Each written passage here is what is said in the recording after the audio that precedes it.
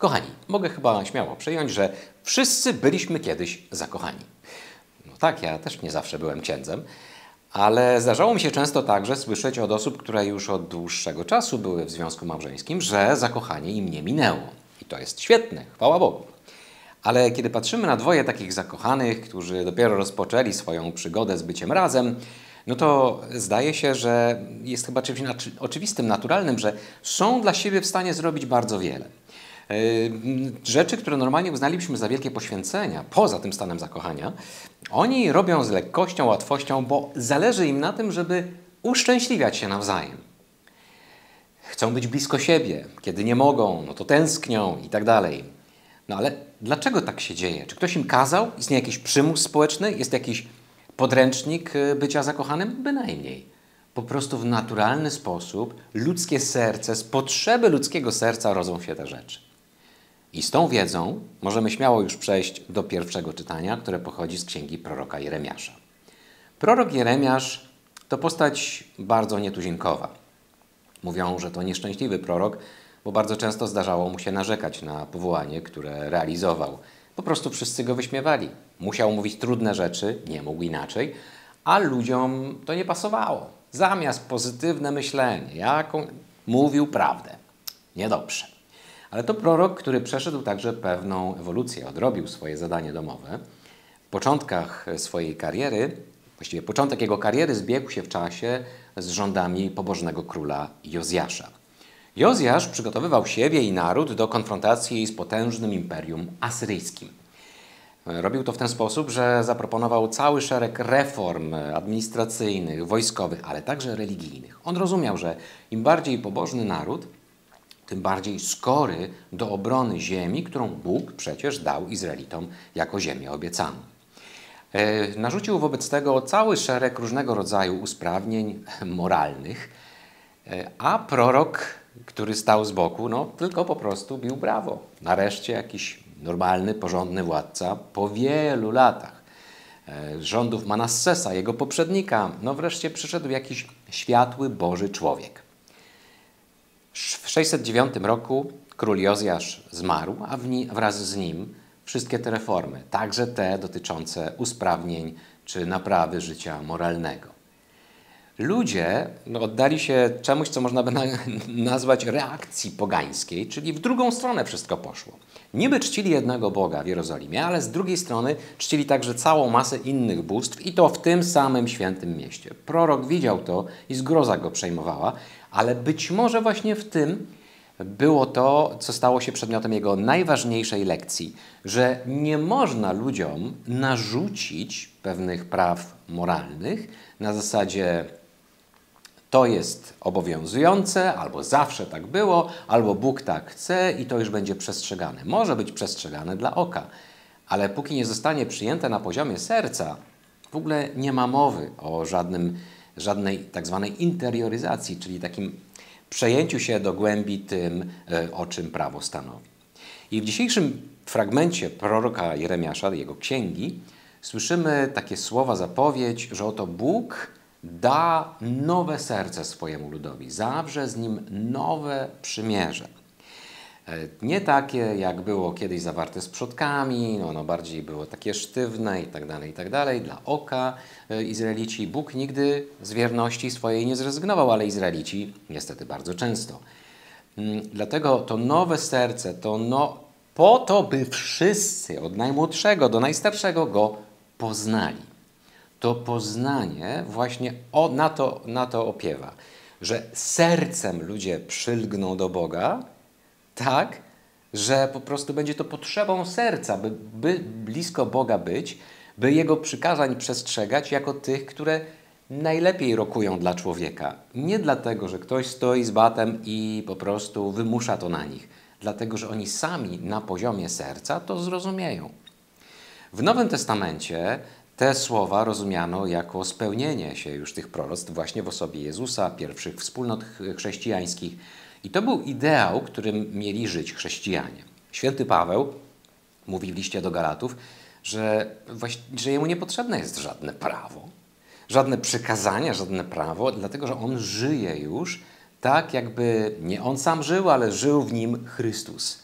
Już nie ja żyję, ale żyje we mnie Chrystus. To jest obraz takiego doskonałego zjednoczenia się z Chrystusem, gdzie Paweł sercem przylgnął do Chrystusa, a Duch Święty, można powiedzieć, jest tym podstawowym natchnieniem i dlatego Paweł nie potrzebuje nikogo, żeby stał nad nim z batem i mówił, tak masz żyć.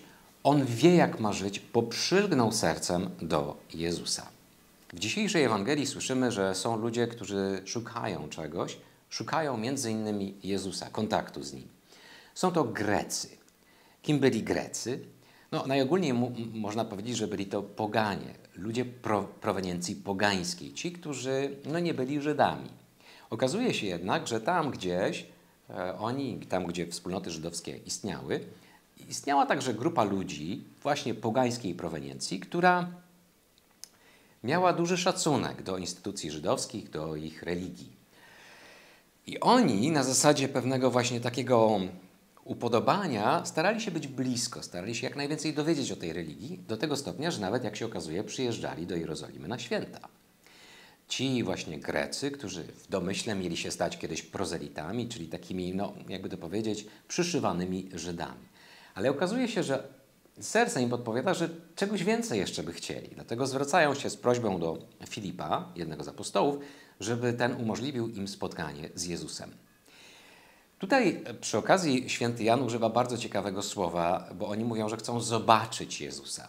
Każdy, kto czyta Ewangelię Jana z otwartymi oczami i uszami, wie, że Jan uwielbia symbolikę i że są takie słowa klucze w, w treści Ewangelii, do których się często odwołuje i przy pomocy których konstruuje swoją narrację. Jednym z takich słów jest widzieć, zobaczyć. Ono jest odpowiednikiem tego, o czym mówił Jeremiasz, poznać. Poznanie tamto dotyczyło przecież nic, niczego innego jak bliskości właśnie z Bogiem. Tutaj zobaczyć ma takie samo znaczenie. Nie chodzi tylko o to, żeby coś albo kogoś mieć przed oczami, ale raczej, żeby poznać go głębiej, zobaczyć w ogóle z czym to się je, wejść w zupełnie inną relację z tym człowiekiem. I zobaczcie, że słowo zobaczyć albo widzieć jest takim słowem, na którym rozpina się cała Ewangelia Jana. Kiedy na początku Wielkiego Postu słyszeliśmy fragment Ewangelii mówiący o tym, że Jan Chrzciciel rekomendował Jezusa jako kogoś nowybitnego, baranka Bożego, to dwóch jego uczniów poszło za Jezusem i w pewnym momencie na drodze Jezus, jakby zorientowawszy się, że jest śledzony, odwraca się do nich i mówi: Czego szukacie? A oni mówią: Mistrzu, gdzie mieszkasz? A Jezus powiada: Chodźcie i zobaczcie. Y, to zobaczcie, czy zobaczycie, nie jest tylko y, upewnieniem ich, że pójdą i zobaczą, jaki to adres, gdzie jest ta miejscówka, w której przebywa Jezus. To jest zaproszenie do tego, żeby poznać Go bliżej, żeby zobaczyć Go w tym sensie, że właśnie zadzierzgnąć z Nim taką głębszą więź, żeby po prostu się z Nim zaprzyjaźnić, zadomowić. Ostatnie fragmenty Ewangelii Jana, gdzie słyszymy o tym, że apostołowie pobiegli do grobu, pustego grobu, Szymon i inny e, apostoł nieznany z imienia.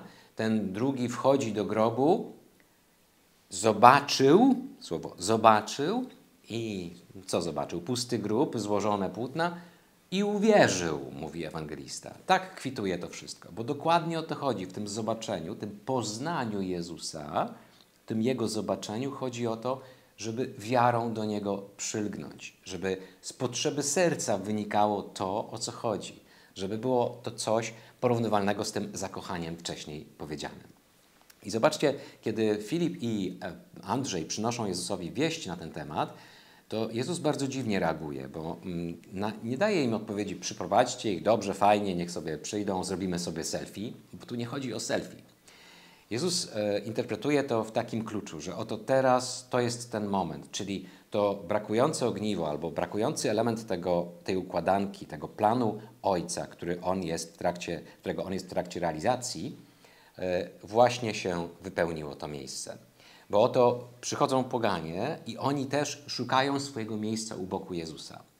I na końcu tego dzisiejszego fragmentu Jezus mówi, że kiedy zostanie e, ukrzyżowany, kiedy zostanie wywyższony nad ziemię w sensie ukrzyżowania, to przyciągnie wszystkich do siebie. nie tylko członków narodu wybranego, ale także pogan. I teraz ci poganie przychodzą i już mówią o swoim zainteresowaniu i Jezus mówi, to jest ta godzina, to jest ten moment. I dlatego bardzo ciekawie e, komentuje, mówiąc: Teraz dusza moja doznała lęku. To jest ten moment, kiedy można powiedzieć, zaczyna się agonia Jezusa. To jest początek nowego rozdziału. Od tego momentu Jezus już idzie tylko na krzyż ku zmartwychwstaniu. Dzisiejsze drugie czytanie pochodzi z listu do Hebrajczyków. Również bardzo trudny to fragment i również bardzo trudny list. Tak naprawdę nie jest to nawet list podobno, tylko bardziej takie przemówienie czy też kazanie. List do Hebrajczyków pisany jest prawdopodobnie do jakiejś wspólnoty e, judeo-chrześcijan, czyli Żydów, którzy przyjęli chrześcijaństwo, a mieszkających być może w Rzymie. I oni stają teraz e, w swoistym rozkroku, bo mają do wyboru albo dalej praktykować chrześcijaństwo, albo, no cóż, e, wrócić do dawnych wierzeń. Dalsze praktykowanie chrześcijaństwa zdaje się coraz bardziej ryzykowne, bo Rzymianie byli skłonni traktować Żydów, judaizm z większą tolerancją niż chrześcijaństwo. Chrześcijan natomiast, no niestety, nie tolerowali. I teraz ci judeo-chrześcijanie mówią, no to czy to warto w ogóle kopać się z koniem, czy warto pójść w tą stronę, skoro mieliśmy wcześniej swobodnie, spokojny żywot, mogliśmy spokojne życie wieść. E, no, stoją wobec takiego dylematu, co zrobić? I autor tego listu w, na swój sposób, no, generując bardzo taką skomplikowaną sieć narracji, ale odwołując się do wszystkich żydowskich instytucji drogich tymże właśnie adresatom, buduje e, taki, taką argumentację, która ostatecznie ma ich przekonać do tego, że nie idźcie tą, nie poddawajcie się tym wątpliwościom, nie idźcie tą drogą zwątpienia, bo to, co macie, to jest najlepsze, co mogło wam się przydarzyć. I w, tej, w czasie tej argumentacji od, między innymi e, odwołuje się do Jezusa Chrystusa, którego nazywa najwyższym kapłanem i wtedy Żydzi mogliby się zdziwić. No jak to, e, Jezus nie był z linii Aarona, a tylko ci mogli mieć, e, mogli sobie rościć pretensje do kapłaństwa. Dlatego od razu mówi, że to nie jest linia Aarona. Bóg go naznaczył, ale w linii Melchizedeka. I pokazuje go jako doskonałego arcykapłana, który utożsamił się z nami, który za nas również złożył ofiarę, najpierw wcześniej w głośnych błaganiach i płaczu pomiędzy nami a Bogiem pośredniczył i potem złożył ofiarę, tak jak kapłanowi przystoi, ale ta ofiara była właśnie z niego samego. Ta ofiara była dobrowolnie złożona i ona wystarczy raz na zawsze. I tutaj padają takie dziwne słowa o tym, że Jezus nauczył się posłuszeństwa przez to, co wycierpiał. Co to znaczy, że Jezus nie był posłuszny, że nie znał takiej kategorii? No jako Syn Boży, zastrzega to bardzo wyraźnie autor, jako Syn Boży nie musiał być posłuszny. Relacja między osobami w Trójcy Świętej nie polega na, na posłuszeństwie, to jest relacja no, zupełnie innego rodzaju.